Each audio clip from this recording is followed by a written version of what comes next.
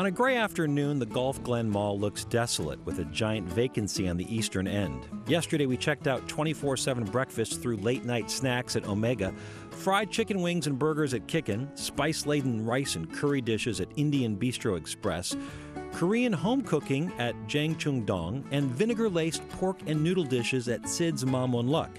That Filipino menu is complemented by Ati Atihan, where they specialize in grilled meats that have been marinated for at least 36 hours in soy and tart calamansi juice.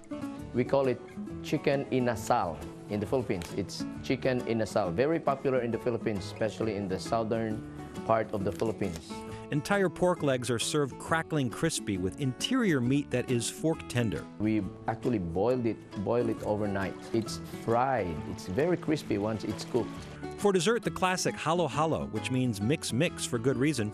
Beans, corn, coconut jellies, purple yam ice cream, and creamy flan are combined until it's almost soup like, offering a creamy sweet counterpoint to the meal. A few doors down, the Agate Bar and Grill is known mostly for its late night Korean bar food, like fiery chicken that gets mellow due to a blanket of melted mozzarella. Lunch boxes of kimchi, spam, and a fried egg offer childhood comfort foods, while grown ups might like fresh pineapple pureed with some booze. Then combine with a bottle of soju and serve with a ladle for you and your K pop loving friends. More standard Korean barbecue can be found in the massive barbecue garden, where you can opt for an all you can eat option or just order a la carte. Pork belly and short ribs are recommended. Crisp, bright fermented vegetarian sides, called banchan, fill every possible piece of real estate on the table, while the solicitous staff does all of the work at the grill for you. There is Chinese food with a mild Korean accent next door at the Twin Dragon. They make all of the noodles from scratch, running them through a sheeter until they're cut, then boiled for a minute or two.